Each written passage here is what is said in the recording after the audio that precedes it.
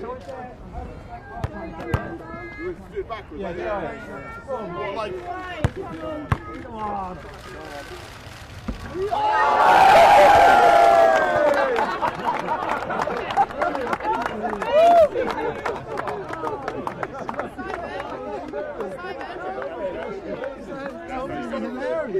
to be very clear, I was saving that up. I mean, I could have done it any time. You know. Oh!